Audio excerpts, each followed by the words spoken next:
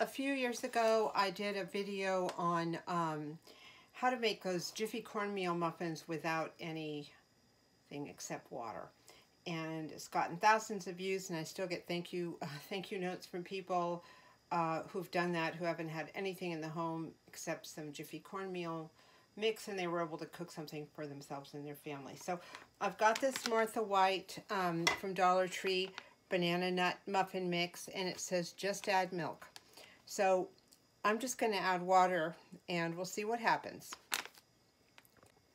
What I've done in other circumstances is that if I don't have milk, I've added like a tablespoon of butter or margarine to a cup of water. I've melted it in because basically the milk provides fat. So if you put the butter or margarine in there, you have your fat. So I'm going to go ahead and just use water.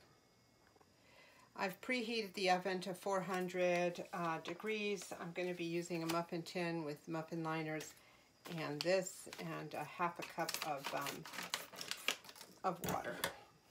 Let's open it up. I'm sorry I don't have the overhead anymore. A piece of it broke, so I'm doing everything on the tripod now. This is what it looks like. So I'm going to pour that in. Here it is.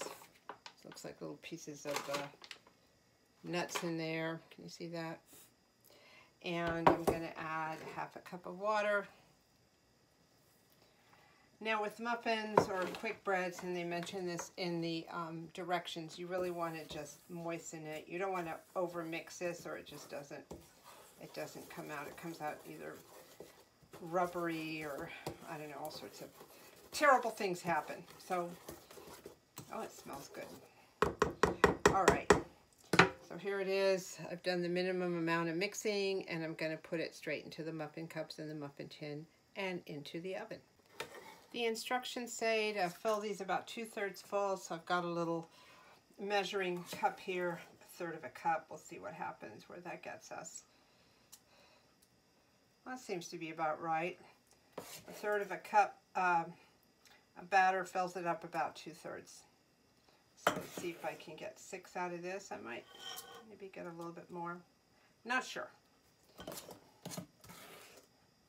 did not check to see how many muffins this made, but it wouldn't surprise me if it made six just to fill the, the muffin tin. This is um, a Dollar Tree muffin tin. And I'm actually quite pleased with the Dollar Tree uh, baking baking ware, strangely enough. Um, they fit in my little tiny 20 inch oven and they've held up pretty darn well. All right, so fit six.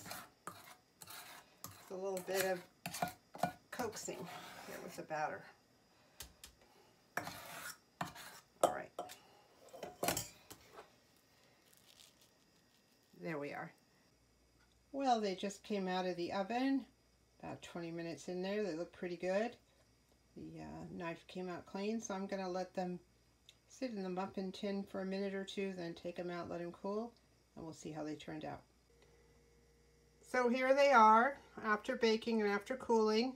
So far so good. There was a little bit of uh, muffin left on the um, inside of the muffin liners. I don't know what would have happened if I put them straight into the uh, muffin, um, the tin muffin pan with maybe some spray oil. I don't know. Sometimes, truthfully, I have to spray these too uh, if I want the stuff to come out clean. So I'm not sure if that's natural here, what happened, or if the lack of um, the little bit of fat that the milk would have uh, provided created that too. I've never made them the regular way, so I don't know what they usually do. The inside looks great, very nice, very fluffy, and I'm going to give it a try right now. Oh my gosh, so good. Light, fluffy, delicious. I think what we can take from this uh, whole experiment is, yes, you can make those Martha White banana nut muffin mix without milk, with just water, and you're going to come out with just great muffins. So that's my two cents on how to do things a little cheaper. So there we are. I'm about to have the second half of this because it is so good.